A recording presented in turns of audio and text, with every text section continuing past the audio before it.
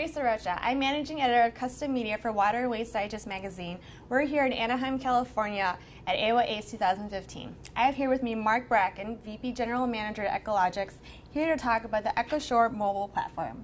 Marc, thank you for joining us here today. You're welcome, Risa. Thank you for having me. Can you describe to us what is the EchoShore mobile platform? Sure.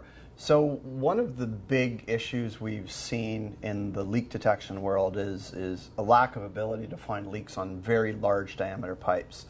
Um, these pipes typically will range from 24 right up to 120 inches in diameter. Um, conventional leak detection equipment doesn't work on them. And Echologics has developed a permanent monitoring solution, which, which we call EchoShore TX for these mains. And after we had done this, um, we had demand for a mobile solution where people can survey their large diameter pipes in a sequential and, and organized manner with a, with a non-invasive technology that's very sensitive and specifically designed for large diameter pipes. So we developed, we took that technology, which is cell-based, uh, web-enabled, and we essentially put it into a rugged package. Um, and the first project we are doing is in uh, Malaysia. Um, and they're literally they're moving these boxes every night and doing leak detection on large diameter pipes and finding lots of leaks. Wow. Yeah.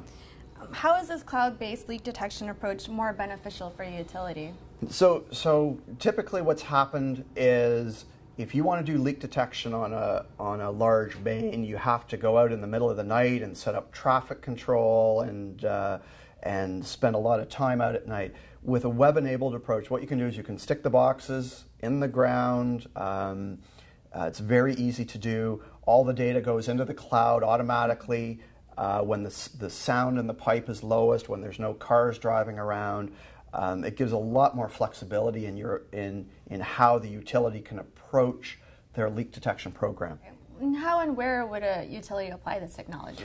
So if you have a utility that's got a large diameter pipe, there's mm-hmm. several ways. It's a critical pipe. So there, I can think of two obvious ways that they want to survey it. So they can set up a bunch of these nodes and they, they will do the leak detection autonomously. There's a web-based interface where they can see the results, manipulate the results. The other, the other really interesting thing we're finding is that if we find a leak, we can leave the boxes there. We can monitor it on a, let's call it a semi-permanent basis until the utility can mobilize to fix the leak. That way, if it starts to increase uh, in volume and starts to become critical, they'll know it immediately so that they can act upon it in a more timely fashion and not have it.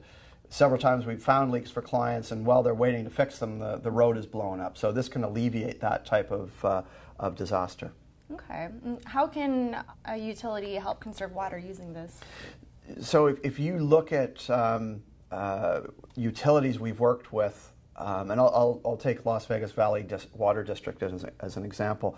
Their pipes are very young in, a, in relative terms to many North American cities.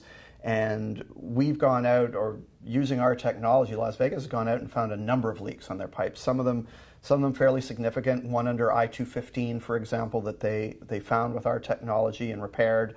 Um, there's another one under I-15 that they're repairing right now these are these are things that my feeling is if Las Vegas with their young infrastructure goes out and finds these kinds of issues that there there's a there has to be a lot of these types of leaks out there and, and people just don't know that they exist because there has been no easy technology that they can deploy to find them. Mm-hmm. So this type of technology now is available.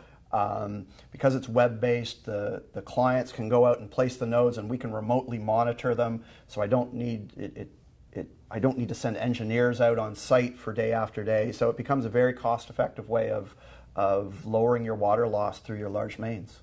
Well, Marc, thank you so much for joining You're us welcome. here today. I thank really so appreciate much. it. We're here in Anaheim, California at AWWA ACE 2015.